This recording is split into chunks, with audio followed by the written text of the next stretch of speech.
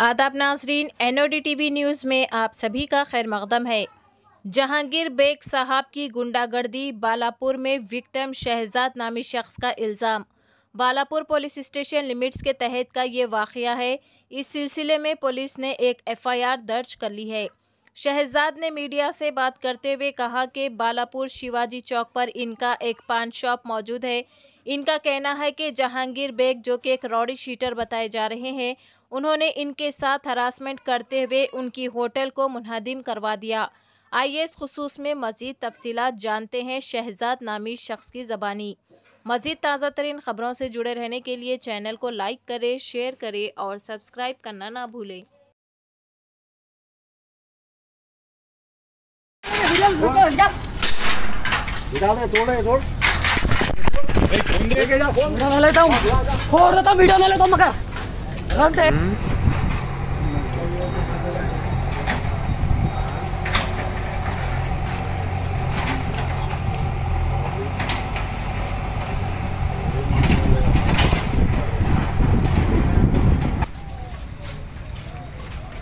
दे मेरा नाम शहजाद है। मैं बा, बालापुर में रहता हूँ। जो है साहब यहाँ बालापुर शिवाजी चौक पे पान शॉप है और मेरी होटल भी थी। वो होटल जो है सो यही अपने आजू बाजू ये अपना बेग साहब बोल के है राउडी सीटर है उन्होंने उन्होंने जो है सो अपने को हरासमेंट करके मेरा होटल तोड़ा दिए।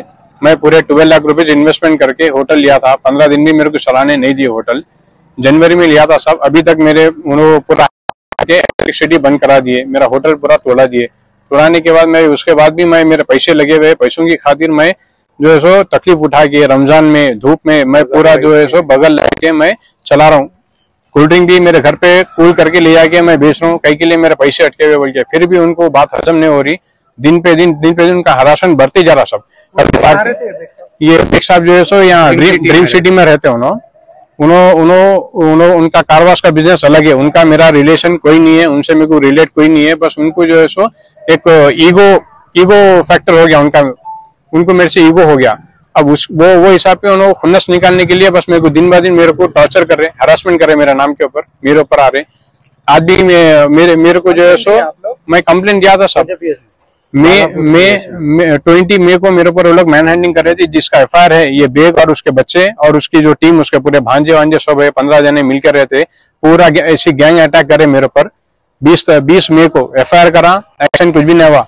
ठीक है मैं अब होता ना किड्स कोर्ट का क्या है बोल के मैं उनको इग्नोर करके मैं मैं उसके बाद भी अब छह महीने हो गए। छह महीने से भी मैं मेरे काम से काम रख रहा हूँ मैं इनके नाते भी नहीं जा रहा हूँ। फिर भी जो है सो उन्होंने फिर ये ये मंथ स्टार्ट हुई से डेली एक ना अब मेरे को हरासमेंट करने के लिए मेरे डब्बे के बाजू में और एक डब्बा बना के जो है सो उन्होंने मेरे को पर, मेरा कारोबार खराब करने के लिए मेरे को परेशान करने के लिए बिल्कुल मेरे डब्बे के बाजू में और एक टीन का डब्बा बना के मेरे को ऐसा हरासमेंट कर रहे हैं। ओनर ओनर आए उनको ओनर आके बोले आप डब्बा हटाओ बोले तो ओनर को भी जो है सो उन्होंने धमकी। माने किसको बुलाते बुला लो। एक्स वाई जेड किसको बुलाते बुला दो कौन क्या करते मैं सबको देख लेता हूँ कोई मेरा कुछ भी नहीं उखाड़ सकते। उनका ऐसा बोलना है। और जो है सो उन्होंने जो है सो, उनकी दूसरे ओनर से किराएदार है। उनकी भी कोई ओन प्रॉपर्टी नहीं है और जो है सो इलीगली पहले गेट लगाए थे डीसीएमओ के लिए, वो गेट ओके थी सफिशियंट थी। फिर वो वो गेट हमारे डब्बे का खोलना होगा उन्होंने क्या करे, और गेट को है ना एक्सटेंड करे उन्होंने अनवांटेडली ना उनकी कोई डीसीएम है, ना उनकी कोई बड़ी टारक्स है, ना कुछ है, ना उनका गाड़ी का कुछ काम है।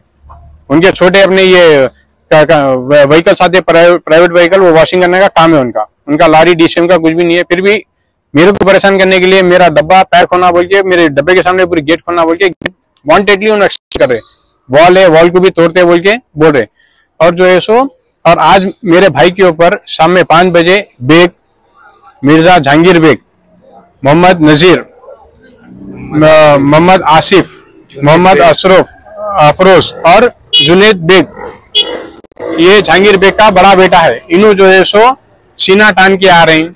सब जने सीना टांग के आके मेरे भाई को मारे। गालियाँ दे। रहे। और बोल रहे डब्बा हटाओ यहाँ से। बंद करो तुम्हारा ये धंधा।